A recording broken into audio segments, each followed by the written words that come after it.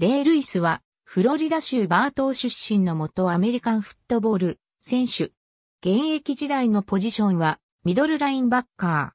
ー。NFL を代表するラインバッカーであり、第35回スーパーボールでは、ミドルラインバッカーとしては初めて MVP を受賞している。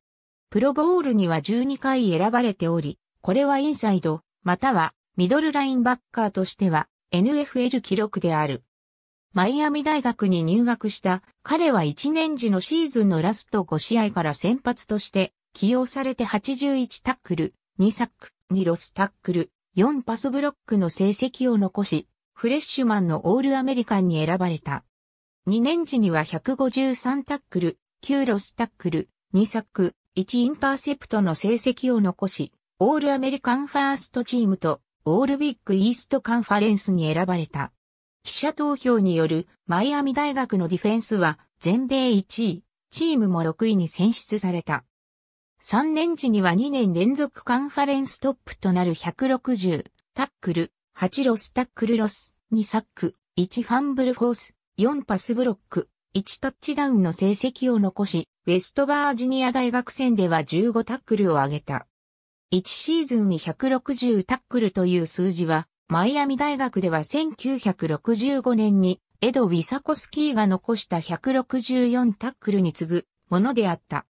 3シーズンしかプレーしなかったものの彼は、マイアミ大学史上5位となるタックル数を残した。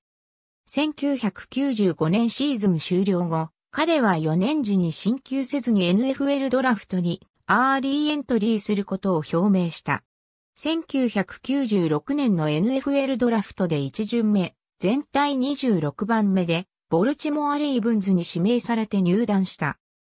1996年のドラフトで全体26番目に指名された彼は多くのスカウトからは NFL でプレーするラインバッカーとしてはサイズが小さすぎると見られていた。しかし1996年彼は110タックルを上げて USA Today の選ぶオールルーキーチームに選ばれた。この年彼が挙げたロスタックル15回は NFL トップの数字であった。また10月13日のインディアナポリスコルツ戦で、ジム・ハーボーにプロ初サックを浴びせるなど、2.5サック、6パスブロック、1インターセプトの数字を残している。1997年、彼は NFL トップの184タックル、4サック、1インターセプト、1ファンブルフォース、1ファンブルリカバー、11パスブロックの成績を上げて、プロボールに初めて選ばれた。1998年には3年連続チームトップとなる120タックル、3サック、2インターセプト、1ファンブルフォース、7パスブロックの成績を上げて2度目のプロボールに選ばれた。彼はスポーティングニュースのオールプロにも選ばれ、後に殿堂入りするバリー・サンダースの現役最後の試合で、チームメイトと共にサンダースをわずか41ヤードに抑えた。1999年、NFL トップの168タックル、3.5サック、3インターセプト、8パスブロック、1セーフティ、1ファンブルフォースの成績を上げて3年連続プロボールに選ばれるとともに初めてオールプロに選出された。2000年、この年137タックルを上げて NFL 最優秀守備選手賞に輝く活躍を見せた彼に率いられた強力ディフェンスは NFL 記録となる165失点、乱走質970ヤードしか相手に許さなかった。ディフェンスの6つのカテゴリーで NFL トップとなり、レギュラーシーズンで4回完封勝利を挙げた。チームは創設以来初のスーパーボールに出場し、第35回スーパーボール優勝を果たし彼は MVP に選ばれた。ポストシーズン4試合で彼は31タックル、2インターセプト、9パスブロック、1ファンブルリカバー、1タッチダウンを挙げた。2001年、162タックルを挙げて、オールプロファーストチームに選ばれるとともに5回目のプロボール出場を決めた。そのプロボールではタッチダウンを挙げている。プレーオフ2試合でも17タックル、3ファンブルフォース、1パスブロックの成績を残した。2002年には肩の負傷により5試合の出場に終わったが、チーム5位の58タックル、2インターセプト、2パスブロック、1ファンブルフォース、1ファンブルリカバーの成績を上げた。第4週のデンバーブロンコスとのマンデーナイトフットボールでは18タックル、2パスブロック、1インターセプトを上げた。2003年には161タックル、1.5サック、6インターセプト、2ファンブルフォース、2ファンブルリカバー、14パスブロック、1タッチダウンの成績を上げた。11月の最優秀守備選手に選ばれ、第17週のピッツバーグスティーラーズ戦では15タックル、1インターセプトを上げて週間 MVP に選ばれている。プレーオフでは合計17タックルを上げた。シーズン終了後、50票中43票を獲得し、2度目の NFL 最優秀守備選手賞に選ばれた。オールプロの投票では、全選手中トップとなる50票中49票の1秒を獲得し、ファーストチームに選ばれている。2004年は146タックル、1サック、2ファンブルリカバー、1ファンブルフォース、6パスブロックでオールプロファーストチームに選ばれた。2005年、第6週の怪我が原因でシーズン後半を棒に振った。第8週から故障者リスト入りした彼は6試合の出場で46タックル、1サック、1インターセプト、2パスブロック、1ファンブルリカバーの成績を残した。2006年、彼の率いたレイブンズのディフェンスは、総総出ヤード数、失点、インターセプト数など、主要カテゴリーのうち14個でトップの成績を残した。また、サック数、テイクアウェイ、ラン総出ヤード数で2位となった。彼は2試合に欠場したものの14試合で103、タックル、自己最高の5サック、2インターセプト、8パスブロック、1ファンブルフォース、1ファンブルリカバーの成績を残した。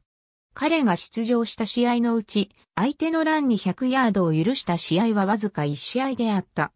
開幕戦のタンパベイバッカニャーズ戦では7タックル、1サック、3パスブロックの成績を上げて週間 MVP に選ばれた。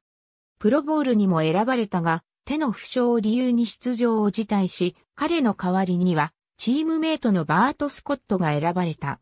この年の最優秀守備選手賞の投票で彼は5位となった。プレーオフでは合計15タックル、1パスブロックの成績を残した。2007年、平凡な成績に終わったレイブンズの中で彼はチームトップの120タックル、2サック、2ファンブルフォース、1ファンブルリカバー、10パスブロック、2インターセプト、1タッチダウンの成績を上げて12年のキャリアで9回目となるプロボールに選ばれた。2008年、彼は117タックル、3.5サック、3インターセプト、2ファンブルフォース、2ファンブルリカバー、9パスブロックの成績を上げて10回目のプロボール、6回目のオールプロファーストチームに選ばれた。第10週のヒューストンテキサンズとの試合で彼は8、タックル、2インターセプト、にパスブロックを上げて週間 MVP に選ばれた。チームは AFC チャンピオンシップゲームに進出したが、プレーオフ3試合で彼は29タックル、2ファンブルフォース、1パスブロックの成績を上げた。シーズン終了後彼は無制限フリーエージェントとなったがチームとオプション2年間を含む2015年までの契約延長の合意に達した。2009年、第2週のサンディエゴチャージャーズ戦では、ダレン・スプロールズへのタックルで、チームに勝利をもたらした。試合後彼はこのタックルは、自分のキャリアの中でも最も素晴らしいものだと語っている。最終的に AFC トップの134タックル、3サック、2ファンブルフォース、1ファンブルリカバー、7パスブロックを上げて、11回目のプロボール、7回目のオールプロファーストチームに選ばれた。プレーオフ2試合でも21タックル、1サック、1パスブロックの成績を上げている。2009年シーズン終了までに彼は194試合に出場して通算1770タックル、36.5サック、14ファンブルフォース、16ファンブルリカバー、28インターセプト、1セーフティ、2タッチダウン、105パスブロックの数字を残している。また14シーズンのキャリアで、プロボールにはインサイドラインバッカー、ミドルラインバッカーとしては最多の11回出場している。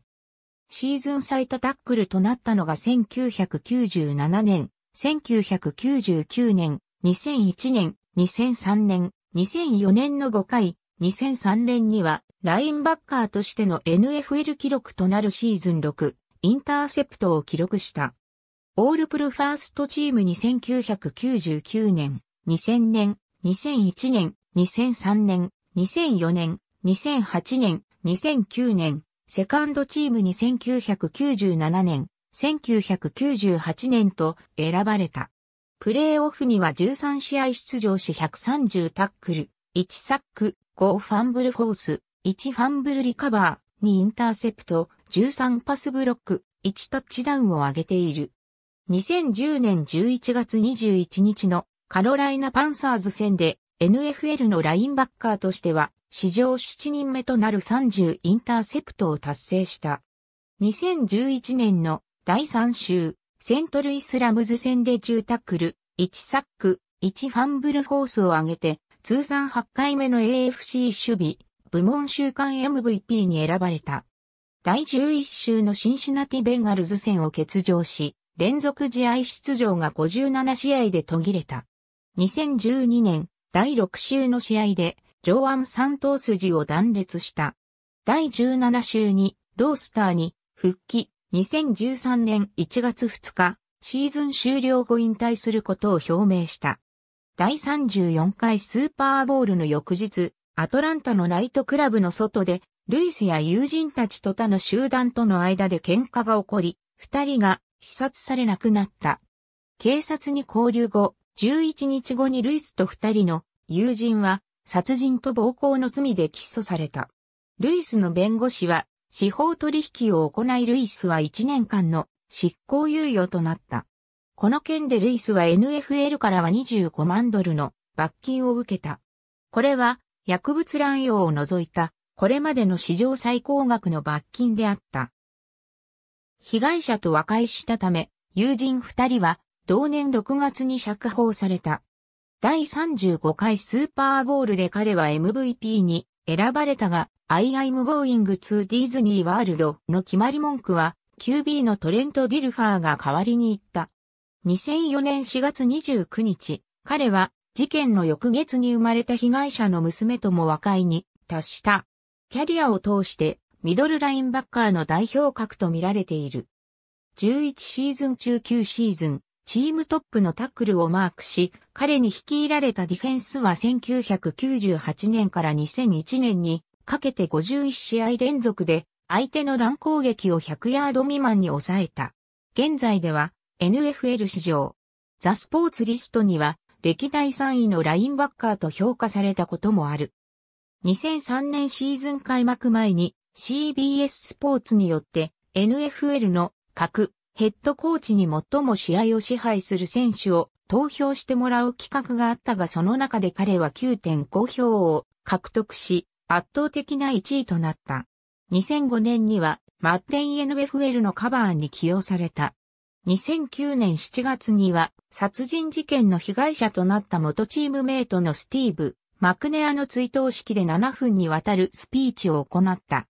彼は映画ランダウンロッキング・ザ・アマゾンやマリオやネリーのミュージックビデオに登場しているほか、リーボック、アンダーアーマー、オールドスパイス、イースタンモーターズの広告に登場している。